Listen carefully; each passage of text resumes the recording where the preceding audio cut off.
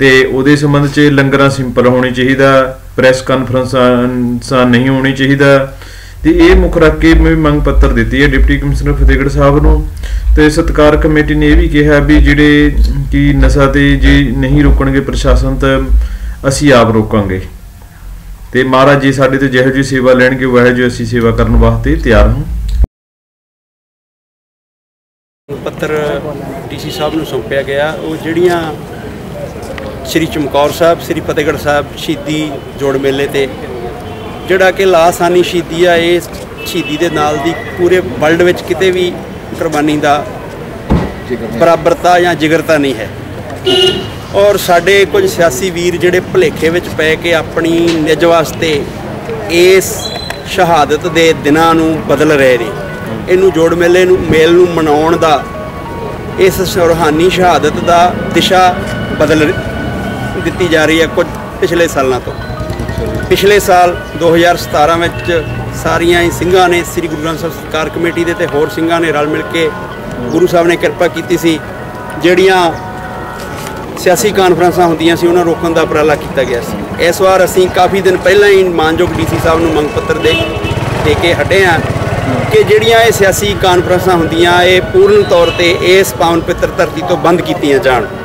ਵਾਹਿਗੁਰੂ ਜੀ ਕਾ ਖਾਲਸਾ ਵਾਹਿਗੁਰੂ ਜੀ ਕੀ ਫਤਿਹ। ਇਹਦੇ 'ਚ ਬੰਦ ਕਰਾਉਣ ਦਾ ਹੋਰ ਕੀ ਕੀ ਹੈ ਵੀ ਜਿਹੜਾ ਲੰਗਰ ਪਾਣੀ ਹੋਣਾ ਕਿੱਦਾਂ ਦਾ ਹੋਣਾ ਚਾਹੀਦਾ ਜਿਹੜੀ ਲੰਗਰ ਲੰਗਰ ਦੇ ਵਿੱਚ ਲੰਗਰ ਸਾਦੇ ਹੋਣੇ ਚਾਹੀਦੇ ਆ। ਪਾਨ ਤਮਾਕੂ ਬੀੜੀ ਸਿਰਗਟ ਭੰਗ ਦੀਆਂ ਰੇੜੀਆਂ ਉੱਚੀ ਸ਼ੋਰ ਆਵਾਜ਼ ਦੇ ਵਿੱਚ ਜਿਹੜੀਆਂ ਅਨਾਉਂਸਮੈਂਟਾਂ ਹੁੰਦੀਆਂ ਤਰ੍ਹਾਂ ਤਰ੍ਹਾਂ ਦੇ ਲੰਗਰ ਜਿਹੜੇ ਸਾਰਾ ਹੀ ਅਸੀਂ ਇਸ ਗੱਲ ਨੂੰ ਕਹਿੰਦੇ ਆ ਕਿ ਸਾਨੂੰ ਸਿੱਖਾਂ ਨੂੰ ਸਮਝਣਾ ਚਾਹੀਦਾ ਹੈ ਕਿ ਜੇ ਸਾਡੇ ਘਰ ਦੇ ਵਿੱਚ ਕਿਸੇ ਦੀ ਡੈਥ ਹੋ ਜਾਂਦੀ ਆ ਮੌਤ ਹੋ ਜਾਂਦੀ ਆ ਚਲਾਣਾ ਕਰ ਜਾਂਦਾ ਕੋਈ ਚਾਹੇ ਉਹ ਬਜ਼ੁਰਗ ਵੀ ਹੋਵੇ ਤੇ ਅਸੀਂ ਉਹਨੂੰ ਬੜਾ ਦਿਲ ਤੇ ਲਾਉਨੇ ਆ ਤੇ ਲੰਗਰਾਂ ਦੇ ਵਿੱਚ ਮਠਿਆਈਆਂ ਨਹੀਂ ਵਰਤਦੇ।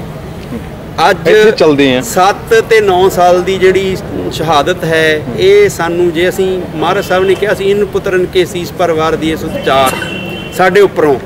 ਤੇ ਜੇ ਸਾਡੇ ਉਹ ਭਰਾ ਸੀਗੇ ਫਿਰ ਤੇ ਸਾਡੇ ਛੋਟੇ ਛੋਟੇ ਭਰਾਵਾਂ ਦੀ ਸ਼ਹਾਦਤ ਹੋਵੇ ਤੇ ਅਸੀਂ ਤਰ੍ਹਾਂ ਤਰ੍ਹਾਂ ਦੇ ਲੰਗਰ ਲਾਈਏ। ਸਾਨੂੰ ਆਪਣੇ ਆਪ ਹੀ ਇਹ ਜਿਹੜੀ ਹੈਗੀ ਆ ਪ੍ਰਵਿਰਤੀ ਬੰਦ ਕਰਨੀ ਚਾਹੀਦੀ ਅਸੀਂ ਇਸ ਗੱਲ ਦਾ ਵੀ ਜ਼ੋਰਦਾਰ ਵਿਰੋਧ ਕਰਦੇ ਹਾਂ। ਥੈਂਕ ਯੂ ਜੀ। ਪਿਛਲੇ ਸਾਲ ਵੀ ਧਰਨਾ ਲੱਗੇ ਸੀ ਤੁਹਾਡਾ ਜਿਹਦੇ ਸੰਬੰਧ 'ਚ ਪ੍ਰੈਸ ਕਾਨਫਰੰਸਾਂ ਬੰਦ ਕਰਵਾਈਆਂ ਗਈਆਂ ਸੀਆਂ। ਜੀ।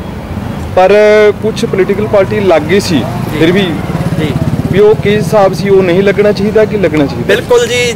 ਜਿਹੜਾ ਆਪਣੇ ਆਪ ਨੂੰ ਸਿੱਖ ਕਹਾਉਂਦਾ ਉਹਨੂੰ ਛੋਟੇ ਸਾਹਿਬਜ਼ਾਦਿਆਂ ਦੀ ਸ਼ਹਾਦਤ ਦੇ ਉੱਤੇ ਸਿਆਸੀ ਰੋਟੀਆਂ ਸੇਕਣੀਆਂ ਕਿਸੇ ਕੀਮਤ ਤੇ ਵੀ ਨਹੀਂ ਚਾਹੀਦੀਆਂ ਪਰ ਜੇ ਕੋਈ ਨਹੀਂ ਹਟੂਗਾ ਤੇ ਫਿਰ ਜਿਹੜਾ ਸਰਕਾਰ ਨਾਲ ਮੱਥਾ ਲਾਉਂਦਾ ਉਹ ਫਿਰ ਸੱਚੀ ਸਰਕਾਰ ਉਹਨੂੰ ਆਪਣੇ ਆਪ ਹੀ ਫਿਰ ਇਹ ਪੁੱਛਦੇ ਨੇ ਥੋੜਾ ਜਿਹਾ ਇਹ ਵੀ ਪਤਾ ਲੱਗਿਆ ਵੀ ਕਹਿੰਦੇ ਸਤਕਾਰ ਕਮੇਟੀ ਬਨੋਟੀ ਘੁੰਮਦੇ ਨੇ। ਬਿਲਕੁਲ ਹੋ ਸਕਦੇ ਨੇ ਕੁਝ ਜਿਹੜੇ ਹੁੱਲੜਬਾਜ਼ ਕੋਈ ਹੋ ਸਕਦੇ ਨੇ ਸਾਡਾ ਉਹਨਾਂ ਨਾਲ ਕੋਈ ਲੈਣ ਦੇਣ ਨਹੀਂ ਹੈ। ਆਹ ਚਿਹਰੇ ਮੋਰੇ ਨੇ ਇਹ ਭਾਈ ਨਿਸ਼ਾਨ ਸਿੰਘ ਨੇ ਇੱਥੇ ਭਾਈ ਬਲਬੀਰ ਸਿੰਘ ਮੁੱਚਲ ਨੇ ਤਰਲੋਚਨ ਸਿੰਘ ਸੋਹਲ ਨੇ ਹਰਜਿੰਦਰ ਸਿੰਘ ਬਾਜੇਕੇ ਨੇ। ਠੀਕ ਹੈ। ਸਾਡੇ ਵੱਲੋਂ ਕੋਈ ਕਿਸੇ ਨੂੰ ਇੱਥੇ ਆਥਰੋ ਨਹੀਂ ਕੀਤਾ ਹੋਇਆ ਫਤਿਹਗੜ੍ਹ ਸਾਹਿਬ 'ਚ। ਜਿਹੜੇ ਸਿੰਘ ਸਾਡੇ ਨਾਲ ਚੱਲਦੇ ਨੇ ਸਾਡੇ ਨਾਲ ਕਹਿਣੇ 'ਚ ਚੱਲਦੇ ਨੇ ਜੇ ਕੋਈ ਹੁੱਲੜਬਾਜ਼ ਕਰਦਾ ਹੈ ਤੇ ਉਹ ਆਪਣੀ ਕਾਰਵਾਈ ਦਾ ਆਪ ਜ਼ਿੰਮੇਵਾਰ ਹੈ।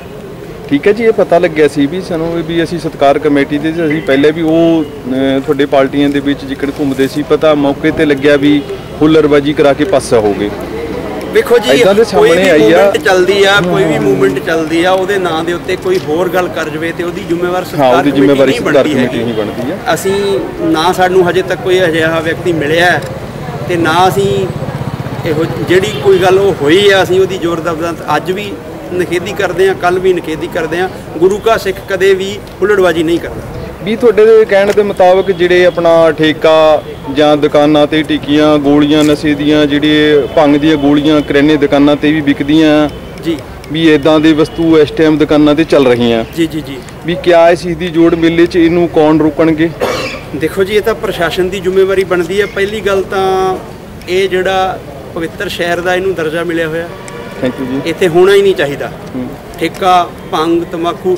ਪਰ ਹੈਰਾਨਗੀ ਦੀ ਗੱਲ ਆ ਕਿ ਕੁਝ ਸਾਡੇ ਵੀਰ ਜਿੱਦਾਂ ਤੁਹਾਡੇ ਬਣਾ ਪਾਇਆ ਹੋਇਆ। ਪਰਲੇ ਸਜਾ ਕੇ ਵੀ ਇਹੋ ਜਿਹਾ ਕਾਰਜ ਕਰਦੇ ਨੇ ਭੰਗ ਵੇਚਦੇ ਨੇ। ਉਹ ਸਾਨੂੰ ਆਪਣੇ ਆਪ ਹੀ ਉਹਨਾਂ ਵੀਰਾਂ ਨੂੰ ਜਾਂ ਜਿਹੜੇ ਵੀਰ ਰੋਕਣਾ ਚਾਹੀਦਾ। ਅੰਡਰ ਚੱਲਦੇ ਨੇ ਵੱਡੀਆਂ ਜਥੇਬੰਦੀਆਂ ਵਾਲੇ।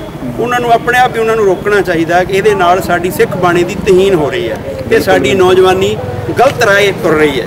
ਇਹਦੇ ਵਿੱਚ ਸ਼ਹੀਦੀ ਜੋੜ ਮੇਲੇ 'ਚ ਕਿਆ ਆਪਣੀ ਸਤਕਾਰ ਕਮੇਟੀ ਜੇ ਪ੍ਰਸ਼ਾਸਨ ਨਹੀਂ ਰੋਕਦੀ ਤੇ ਕਿਆ ਇਹ ਰੋਕ ਕਰ- ਕਰਨਗੀਆਂ?